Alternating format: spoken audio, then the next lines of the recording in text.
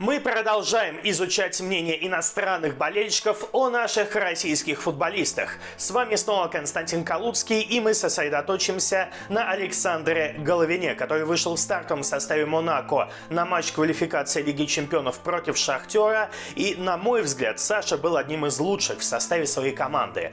Правда, в целом Монако сыграл плохо, уступил своему сопернику со счетом 0-1, поэтому в данном случае мы можем говорить о том, что Головин один из лучших среди худших. То есть команда сыграла так себе, но Головин хоть более-менее приличный футбол показал. С другой стороны, это мое личное мнение. Может быть, у французов другая позиция по этому поводу. Может быть, фанаты Монако сейчас критикуют Головина. Давайте разберемся. На сайте inoprosport.ru были собраны самые интересные комментарии болельщиков Монако о действиях Головина в этой встрече. Ну а я сейчас, с вашего позволения, зачитаю вам перевод этих мнений для нашего общего ознакомления. Поехали!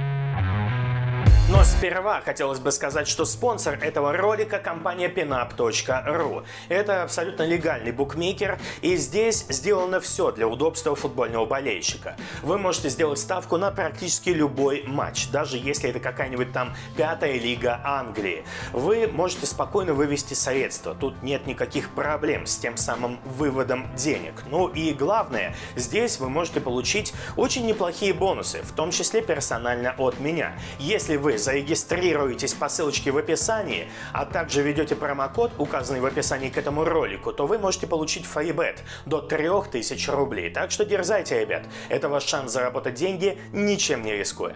Ну а мы переходим к мнению иностранных фанатов. Что же они пишут про Головина? Давайте узнаем. Регалазм. Головин на данный момент – это не игрок уровня стартового состава. Мне кажется, что сейчас ему даже на 60 минут не хватает сил. Ну, касательно 60 минут, дело в том, что на 60-й Головина заменили, но тут есть объективная причина. У Саши недавно была травма, и, конечно, он не готов сейчас на 100%.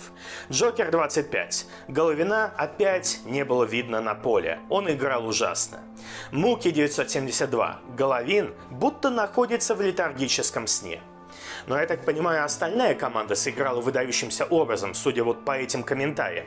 Оудини написал, Головин и Мартинш просто бесполезные. Ничего особого они нам не дают. И так продолжается уже несколько лет.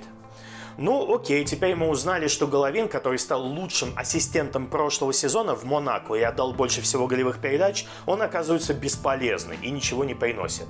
Джокер 25. Я даже и не знаю, что думать о Головине. Чувак проводит парочку хороших матчей, а после этого 10 слабых.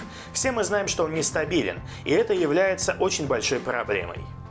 Но я не согласен, что на два хороших матча у Головина приходится 10 плохих. Скорее наоборот. Тальянте. Ну хоть угловые у него получаются хорошо. Кстати, с одного из угловых Монако мог забивать, Головин подал, Бадьяшиль промахнулся, но момент был хороший. Фишель. А мне пришлось по душе то, с каким желанием Головин играл в обороне. Ну, желание было хоть отбавляй. Головин в итоге чуть было не нарвался на горчичник. Было несколько фолов, но в итоге Головина почему-то жалели в этой встрече, хотя он, ну, можно сказать, шел к желтой карточке и несколько раз рисковал получить горчичник. Тальянте написал также. Я, конечно, понимаю, что это только начало сезона, но Головин явно находится не в лучшей форме. Ну, как будто остальная команда сейчас прям носится по полю как ракета. Марко Ройс написал «Мне понравился боевой дух Головина». Джеути. То, насколько Головину не везет с ударами, это уже просто какое-то проклятие. Но под конец матча он начал шевелиться и даже мог забить мяч, но хорошо сыграл вратарь. Ну, Головин действительно был активен в плане дальних ударов, и некоторые из них были весьма перспективные, так что в данном элементе игры Саша пытается действовать несколько активнее, чем раньше, потому что его часто критиковали, в том числе и фанаты Монако, за отсутствие дальних ударов, вот, пожалуйста, они начались. Зезем написал, Головин задавал темп нашей атаки. Сайлент. Головин был агрессивен в единоборствах, что здорово. Но это и понятно, учитывая, что в соперниках были украинцы. Эх, если бы таким же вдохновением пропитались еще Чуамени и Фофана, было бы совсем здорово. Но я не думаю, что Головин вышел с особым настроем, потому что соперники, дескать, из Украины. Тем более, что большинство из них это бразильцы. Хэбус. В плане объема проделанной работы Головин впечатлил. Бонфайс. Головин играл в этом поединке на своем хорошем уровне. Ну и Буч написал, СДБ и Головин единственные, кто по-настоящему хорош в нынешнем составе Монако.